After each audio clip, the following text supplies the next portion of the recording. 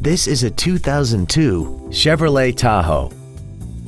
This SUV has a four-speed automatic transmission and a 5.3-liter V8. Its top features include speed-sensitive volume controls, a premium audio system, and aluminum wheels.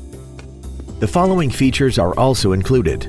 Dual power seats, air conditioning with automatic climate control, cruise control, a CD player, a leather-wrapped steering wheel, front multi-stage airbags, an auto-dimming rear-view mirror, a rear window defroster, a keyless entry system, and the HomeLink transceiver can be programmed to use the same frequency as your remote opening devices, such as the garage door, the entry gate, or even the living room lights, enabling you to control them right from the driver's seat. This vehicle won't last long at this price. Call and arrange a test drive now.